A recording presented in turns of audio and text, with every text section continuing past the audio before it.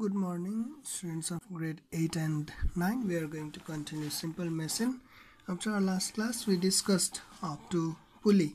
Today, we are going to discuss wheel and axle. Okay, uh, wheel and axle actually uh, it is made up of two cylinders. Okay, and um, among these two cylinder, one of one of the cylinder has smaller radius, whereas another cylinder has larger radius okay. Uh, the combination of two cylinders in which uh, one of the cylinder has larger radius and another cylinder has smaller radius. Or you can say combination of two uh, cylinder having different diameters. Okay. A combination of two cylinder having different diameter. In such a way that they have common center. Okay. Common center. They are um, they have common center so that uh, they rotate together if you rotate wheel axle also rotates. Or if you rotate axle wheel also rotates. Okay? Such kind of uh, device is known as wheel and axle so simply wheel and axle you need to um, keep certain points in your mind while defining wheel and axle is defined as two um, cons concyclic circle. See the word? Concyclic means two circles having same uh, center. Okay two set two circles having same center. Okay two concyclic circles sorry uh, cylinder having different diameters which rotate together. Okay. The few points. You need to uh, memorize few points. First of all concyclic cylinders. Okay. First point is concyclic cylinders. Next point different diameters. Having different diameters and next point which rotate together. Okay? Uh, keep in mind these three points then you will get the definition of and axle it is easier to um, understand and axle okay? For example some examples of and axle are and a screwdriver screwdriver. In case of screwdriver it is somewhat like this. As a larger cylinder is kept and a smaller cylinder is kept isn't it? And at the tip of that smaller cylinder a wedge is um, kept okay? And this wedge it fits in screw. Now uh, you apply force in the larger cylinder isn't it? You apply force in the larger cylinder and then you rotate it. Along with larger cylinder the smaller cylinder also rotates. However if um, the screwdriver does not have this handle if the screwdriver is only this much then now believe me it would be almost impossible to open the nut it would be almost impossible to open up the screw okay? It is only because of the handle. It is possible. And sometimes if you need to open a very tight screw then um, you might have seen a setting like this. Let me show you. Okay. Some people make a screw in this way also okay? So that it see it increases our overall radius. Okay? This part we call handle but here this part act as wheel and this part act as axle. So by keeping it longer um, it increases radius. Yes it increases diameter and it makes easier to rotate. Okay? or have you ever um have you ever seen um, unscrewing the um, vehicle's knot of uh, vehicle tire in case of puncture or something. In movies also you might have seen okay? They use uh, the something some socket here okay? And that socket has a handle like this isn't it? And then uh, you apply force here and then you rotate it in that way the knot also gets rotated. Okay now notice if um, this wrench okay it is called wrench. If this wrench has shorter handle then it would be very difficult to open up the screw.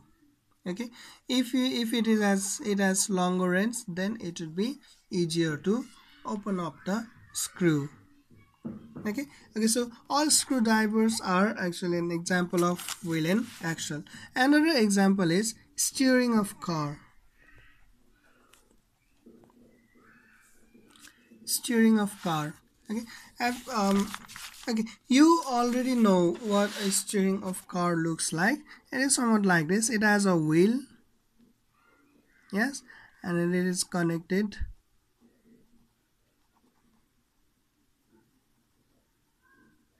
to an axle. Yes and that axle is further connected to uh, several uh, mechanism here devices here that will finally ultimately that will turn the wheel of car. Okay let's not go over the detail here because um, that is the knowledge related to engineering. I actually do not have that much okay i cannot afford that much. Okay anyway this uh, look at here. Uh, this is a steering wheel. Okay now uh, what do you do when you need to turn the car in a certain direction? You rotate this wheel. Yes you rotate this wheel. Okay now what happens if you do not have this wheel in your steering? You you are just given um the um axle you're just given the axle what happens? If the steering wheel has been removed and you have to turn over the axle it would be too much difficult. Okay that's why smaller car have smaller steering wheel whereas larger trucks and bus have very large steering wheel. Why? Because increasing the diameter it increases it multiplies force. Okay similarly you know bicycle wheel by sorry uh, bicycle handle it is somewhat like this. Yes? And in this handle um, a wheel is attached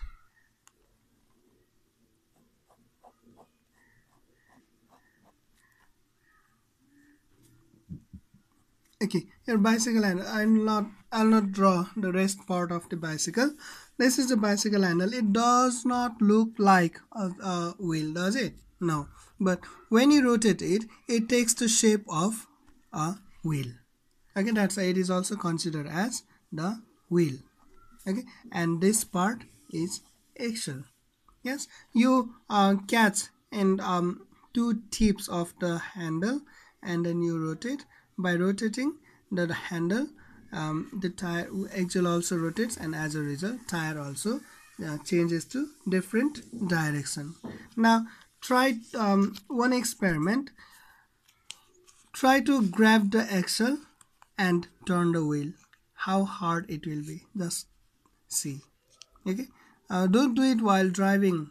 Okay? While cycling. Don't do it while cycling. You might fall out of balance. So do it while uh, you're at rest. Okay? When while you're not cycling. Just uh, grab the axle and try to turn the wheel. It will be very much difficult okay. So uh, the handle of bicycle or handle of uh, motorcycle they are also an example of wheel and axle okay. Handle of bike. Okay i'm going to say etc okay. This one is about wheel and axle okay.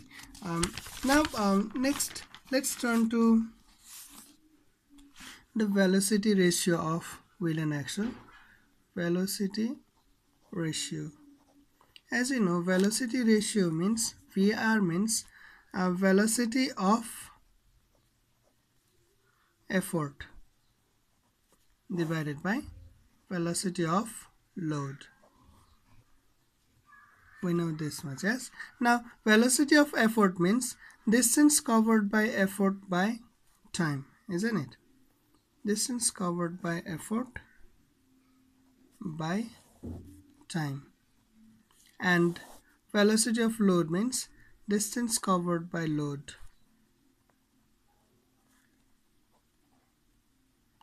By time. Now you can cancel time okay from both numerator and denominator. Now what is distance covered by effort in case of wheel and axle? Okay let me draw once again the simple diagram of um, wheel and axle it is somewhat like this yes? Now um if you rotate one complete rotate if you completely rotate the wheel one complete rotation then what distance will effort um, cover up? Effort is always applied on wheel okay? If you rotate wheel by one complete rotation then what will be the distance covered by effort it will be same as circumference of wheel. Okay? So distance covered by effort is same as circumference of wheel.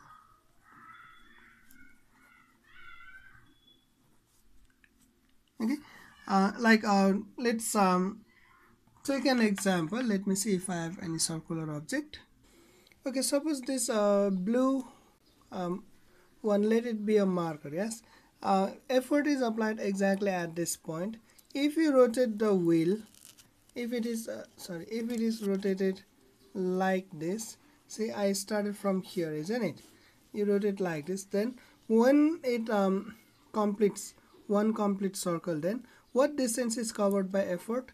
It is same as the circumference of the wheel okay? Similarly if this was an axle then also load is placed load is applied at some point yes isn't it? So let's say this blue marker it, it, consider it is a load. In that case when it is completely um, it completes one complete circle when it rotates one complete circle then load will also have covered the same distance as the circumference of the axle that is why uh, distance covered by effort is marked by circumference of wheel whereas distance covered by load will be circumference of axle okay now in case of wheel if its uh, radius is given by capital R and in case of axle its radius is given by small r then you know the formula to calculate circumference is 2 pi capital R and circumference of axle would be 2 pi small r. Now 2 to cancel pi pi cancel therefore in case of wheel and axle VR will be equals to capital R by small r. Okay, and this formula we will use in the numerical and again MA the formula for MA is same for all simple machine. MA equals to L by E and for efficiency also same MA by VR into 100%. Okay, take out these three formulas. These three formulas will be used in uh, numericals related to wheel and axle. Okay, now one last um, concept is remaining regarding wheel and axle and that is take out this is an important question. Wheel and axle is called a continuous lever why see there is a marked difference okay? We are saying wheel and axle is continuous lever. Hmm? but wheel and axle they are cylindrical object and lever is just a rod like object long rod. How can you consider wheel and axle as a uh, lever? Now see um, if I draw the cross section of wheel and axle this is a wheel yes and this is the center of wheel okay? And we said concentric or concyclic circle or concentric circle cylinders means um, another cylinder the smaller cylinder also has the same center. Now this is wheel seeing from the side and this is axle seeing from the side. Now when you apply um, effort at this point know that load is always applied at this point okay?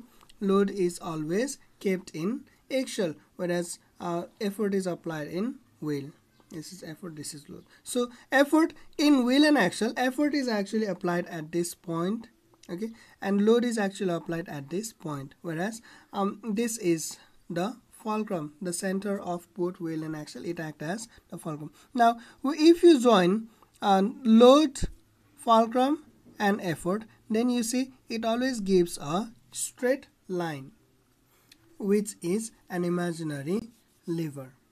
Okay this is an imaginary lever. So our if we neglect the circular structure of wheel and axle if you only consider the position of load fulcrum and effort it actually is a lever. It is first class lever in which fulcrum is in between load and effort okay. Now if you rotate the wheel okay if you rotate the wheel if you apply effort downward the load will be moved upward. If you rotate the wheel then um suppose this point the point a comes to point e.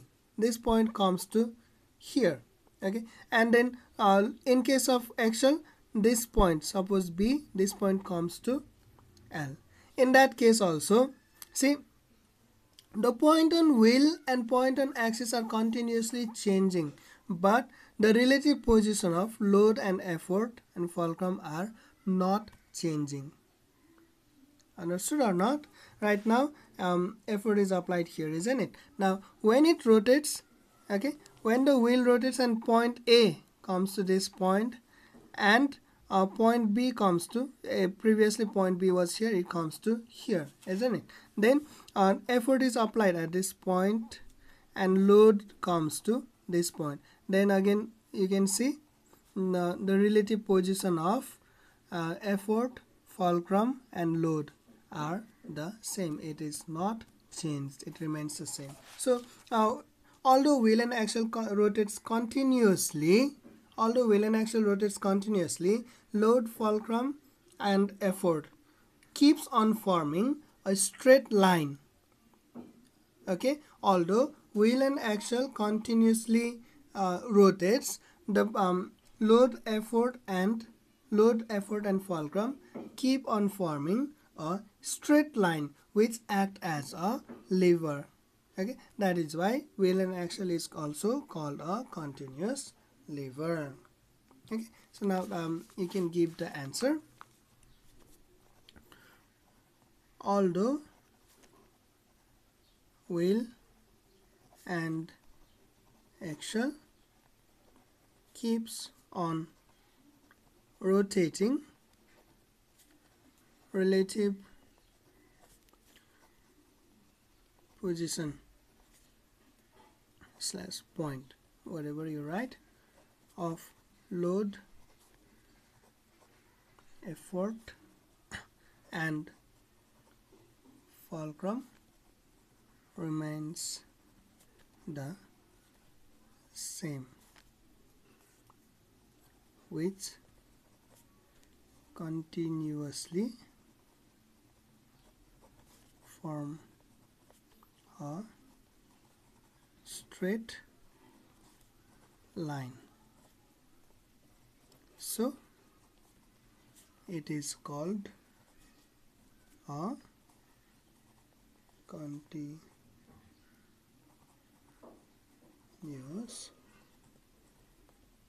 lever okay I'll pause the screen and then you can copy it. Okay uh, now let's go to next topic inclined plane okay for grade 8 inclined plane will be the last topic in this lesson whereas for grade 9 we need to discuss about one more topic that is law of moment that we will be discussing in our next class. Okay inclined plane means the name suggests it a plane surface which remains at certain angle to the ground. Okay a plane surface which remains at certain angle to the ground is called inclined surface. A plane surface that remains at certain angle to the ground is called inclined plane. Okay now in case this is an inclined plane and it is called height of plane okay what height do you gain by using this plane that is small h and this is called length of plane. Length of plane. That means small n. Okay. Now uh, you keep you slide the load over here and you apply effort in this direction. Yes this is load. You apply effort in this direction. And from here you take load up to here isn't it? So this is the distance the effort I have to cover. Okay this is the distance effort I have to cover. But load has been displaced only this much height. Okay load was initially load was at ground level and by using inclined plane you shifted load to this much height. So height of plane is considered as the uh, distance covered by load. Here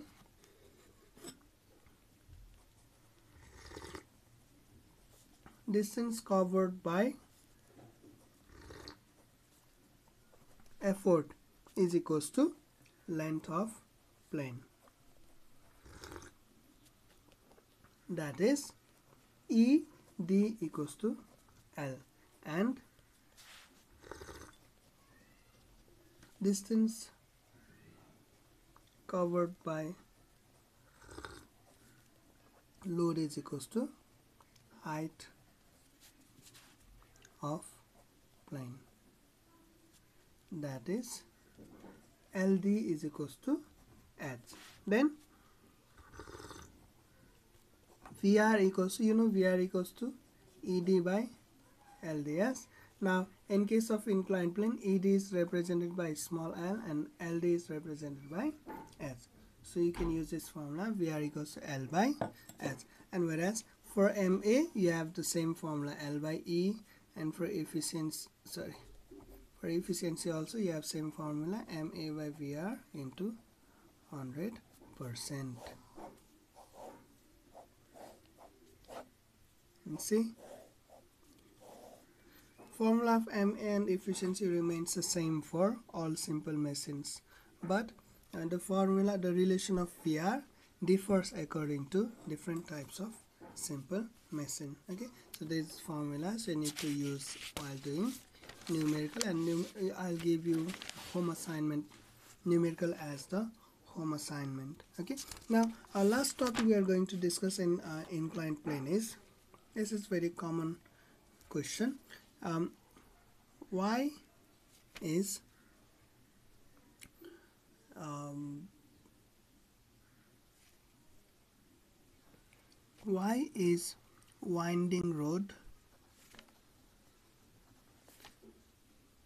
made in hills? Okay if you have gone out of valley you might have noticed that at some places like um, Nagdhunga, yes, and Nagdhunga and um, Sindhuli, okay, in some places the road passes through hill, okay. The road starts from base of hill and you need to get to the top of hill. Now, if uh, the road is simply made as per the slope of hill then it might be impossible for buses to climb that hill maybe it was it might be possible for humans to climb but for buses and vehicles it might it is not possible in such case what they do roads are constructed like this. At certain slope the slope is never made more than 30 degree okay? Because most of the vehicles cannot climb more than 30 degree of slope okay? The road is made um, as a slope of 30 degree and then again here they take another turn and another slope. It also goes okay? To horizon it also makes 30 degree angle and then it again uh, takes another turn like this. And by several such spiral they get to the uh, the road gets to the top of hill.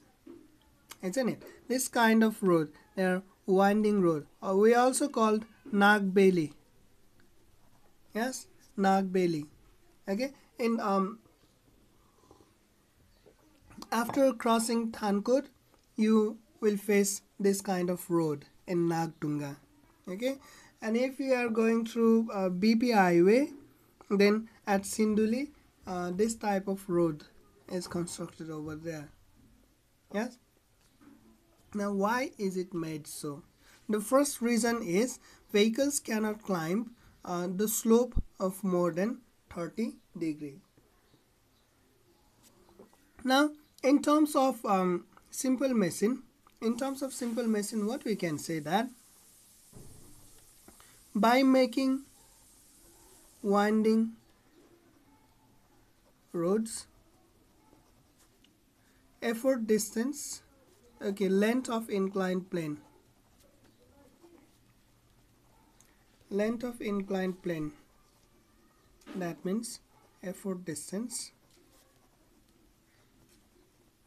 is greatly increased isn't it now see if winding road is not made then uh, this much would be effort distance. Yes only this much. But by making winding road it has been increased by several times.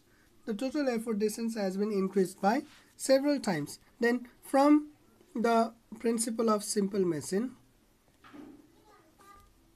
the principle of simple machine holds true for all type of machine okay? It says that L into LD is equals to E into ED or by cross multiplying you get L by E is equals to ED by LD now L by E means MA equals to ED by LD now by constructing on the winding road you are changing length of plane or you are changing effort distance. But are you changing or are you altering the height of plane? No. Whether you take direct path or you take the winding road you are gaining same altitude. Okay? You are gaining the same height. Okay? That means load distance is constant here. Load distance remains constant. Whether you go through this um, vertical height okay or whether you go through the slope of hill or you go through the road uh, load distance or height of plane remains the same. What changes? Only effort distance changes. So keeping load distance constant. Keeping load distance constant what you get? Ma is directly proportional to ed okay so uh, you already stated that by making the road winding you are increasing effort distance. So ma is directly proportional to effort distance means by increasing effort distance mechanical advantage is also increased. So by increasing effort distance mechanical advantage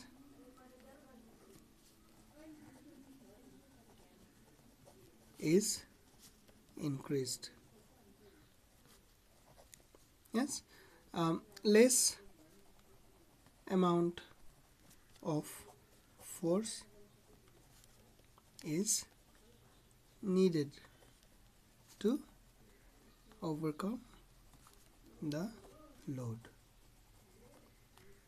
Okay? This much is the answer. Now the same applies to uh, cycling as well. While cycling try to climb a steep slope or um, a poor slope.